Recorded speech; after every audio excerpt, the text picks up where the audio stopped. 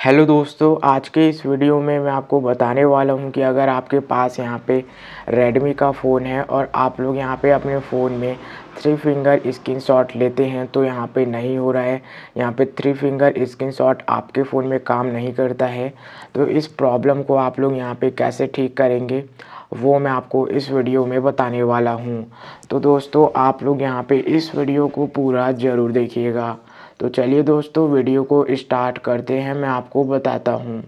तो यहाँ पे दोस्तों, आपको इस प्रॉब्लम को सॉल्व करने के लिए आप लोगों को सबसे पहले क्या करना पड़ेगा?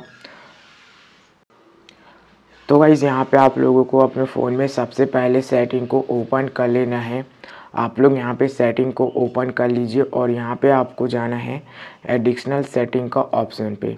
तो यहाँ पे आपको इस पर क्लिक करना है। यहाँ पे क्लिक करने के बाद आप लोगों को यहाँ पे बटन शॉर्टकट का ऑप्शन आ जाता है। तो गाइज़ यहाँ पे आपको क्लिक करना है। यहाँ पे आप लोग जैसे ही क्लिक करेंगे ना तो यहाँ पे आपको टेक अ स्क्रीनशॉट करके ऑप्शन आता है। आप लोग यहाँ पे क्लिक करिए। और दोस्तों, आपके फ़ोन में इस तरीके से नॉन पे सेलेक्ट रहेगा तो आपको यहाँ पे स्लाइड थ्री फिंगर डाउन करके ऑप्शन आता है। यहाँ पे क्लिक करिए। और यहाँ पे आप लोगों को इसको जो है सेलेक्ट कर लेना है।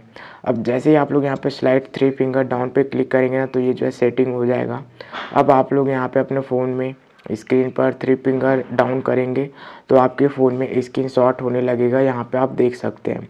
तो इस तरीके से दोस्तों आप लोग यहाँ पे अपने फ़ोन में three finger down screenshot ले सकते हैं। तो गाइज़ अगर ये वीडियो आपको अच्छा लगा हो तो लाइक कर दीजिए। और दोस्तों हमारे चैनल को सब्सक्राइब भी कर लीजिए।